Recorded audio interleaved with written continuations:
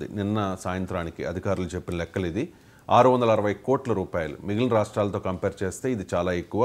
మొత్తం ఐదు రాష్ట్రాల్లో ఎన్నికలు జరుగుతూ ఉన్నాయి. ఐదు రాష్ట్రాల్లోనూ పదిహేడు వందల అరవై కోట్లు స్వాధీనం చేసుకుంటే ఎక్కువ ఆరు వందల అరవై కోట్లు తెలంగాణలోనే అధికారులు స్వాధీనం చేసుకున్నారు. దీన్ని ఏ రకంగా చూడాలి సార్? ధన ప్రవాహం పెరిగింది. రెండు వేల పద్దెనిమిది ఎన్నికల్లో జస్ట్ రెండు వందల ముప్పై తొమ్మిది కోట్లు మాత్రమే స్వాధీనం చేసుకుంటే ఇప్పుడు అది ఆరు వందల అరవై కోట్లకు చేరుకుంది.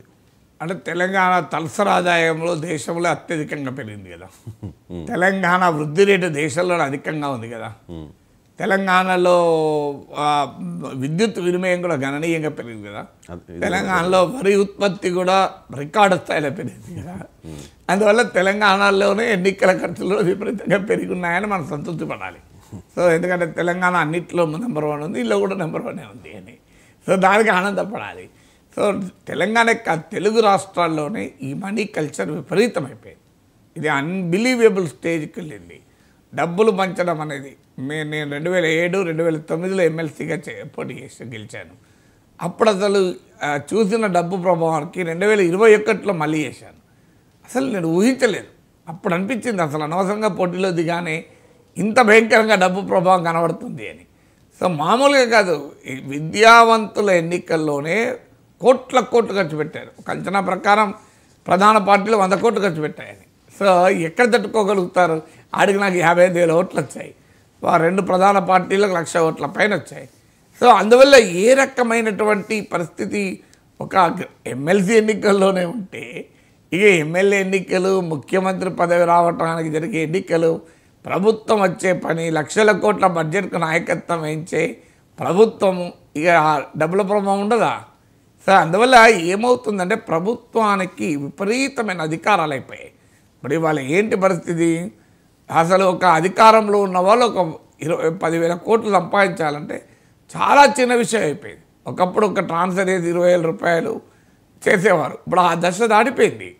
సో ఇప్పుడు ప్రభుత్వాలు తలుచుకుంటే ప్రభుత్వంలో ఉన్న వాళ్ళు అవినీతి పరుడు కావాలి అనుకుంటే ఒక పదివేల కోట్లు అనేది వెరీ వెరీ సింపుల్.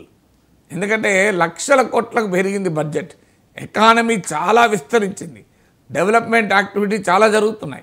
సో ఆటోమేటిక్గా నీకు ధర ఇన్ఫ్ కాస్ట్ ఇన్ఫ్లేట్ చేస్తారు. అందులో కాంట్రాక్టర్ల నుంచి కమిషన్లు తీసుకుంటారు. సో ఈ దశకు వచ్చాక ఈ డబ్బులు ఖర్చు పెట్టడం బెటరా? ఇవాళ ఎమ్మెల్యేలుగా రాజకీయ నాయకులు ఇరవై ఏళ్ళ కింద ఎలా ఉన్నారు? ఇప్పుడు ఎలా ఉన్నారు? మీరు లెక్కలు చేయండి ఈ పార్టీ ఆ పార్టీతో సంబంధం లేదు అనేది. రాజకీయాల్లో డబ్బున్న వాళ్ళు ఉండొచ్చు వ్యాపారాలు పెద్ద పెద్ద పారిశ్రామికాధిపతులు ఉండొచ్చు తప్పలేదు. వాళ్ళు వాళ్ళు న్యాయంగా సంపాదించుకున్న డబ్బు వచ్చి రాజకీయాల్లో ఖర్చు పెట్టచ్చు. దానికి ఎవరు అభ్యంతరం లేదు. ధనవంతులు డబ్బుల్లో పో ఎన్నికల్లో పోటీ చేయకూడదు రాజకీయాల్లో రావద్దని అనను. ఎందుకంటే ధనవంతులు వేరు గుణవంత ధనవంతులు గుణవంతులు కూడా కావచ్చు కదా. ధనవంతులు అందరూ గుణవంతులు కాదని మనం ఎప్పుడు అనుకోకూడదు. సో ధనవంతుల్లో గుణవంతులు ఉండొచ్చు. మంచిదే కదా. అందువల్ల వారు మా సంపాదించిన డబ్బు వేరు. వాళ్ళకు వ్యాపారాలు పరిశ్రమలు రకరకాలు ఉంటాయి. అలాంటి వాళ్ళు మేము కూడా రాజకీయాల్లో ఉంటామని రా వచ్చారనుకోండి. లెట్ దమ్ వెల్కమ్ కానీ ఏమీ లేకుండా రాజకీయాల్లోనే డబ్బులు సంపాదించే వందల కోట్ల అధిపతులైన వారు మన కళ్ళ ముందు కనబడతారు.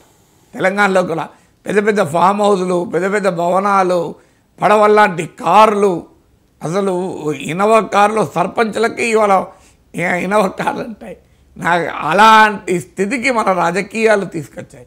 త్రిపురలో ముఖ్యమంత్రిగా అనేక సంవత్సరాలు పనిచేసిన మాణిక్ సర్కార్ ప్రతిపక్ష నాయకుడిగా ఉంటూ ప్రభుత్వానికి లేఖ పెట్టుకున్నాడు. నాకు బ్యాక్ పెయిన్ సివియర్గా ఉంది. నేను ఇప్పుడు వాడుతున్న అఫీషియల్ కారు నాకు నడుము నొప్పి పెంచుతోంది. నాకు ఒక ఇన్నోవా కార్ కేటాయించండి అని లెటర్ పెట్టుకున్నాడు. దానిపైన అధికారంలో ఉన్నవారు చూడు విలాసాలకు అలవాటు పడ్డాడు ప్రతిపక్ష నేత ఆయనకి ఇన్నోవా కార్ కావాలంటారని రాజకీయమైంది.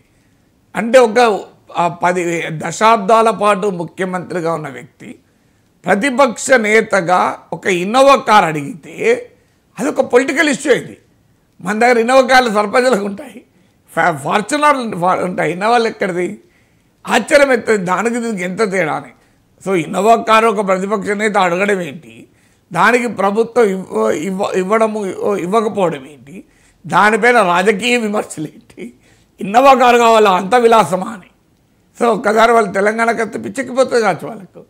సో ఈ రకమైన రాజకీయం మన తెలుగు రాష్ట్రాల్లో ఉంది. మామూలుగా లేదు. చాలా దారుణంగా భ్రష్టపట్టిపోయాయి డబ్బు ప్రభావంతో దాంతో సామాన్యుడు రాజకీయాల్లో ఎంటర్ అయ్యలేదు. నిజాయితీ పనులు రాజకీయాల్లో గెలవడం కష్టమైపోయింది. ఎవరైనా కానీ ఇప్పుడు అన్ని పార్టీల్లోనూ ఇదే పరిస్థితి. నువ్వు ఇరవై కోట్లు పెట్టుకోగలవా? యాభై కోట్లు పెట్టుకోగలవా? అనే స్థాయికి వచ్చింది.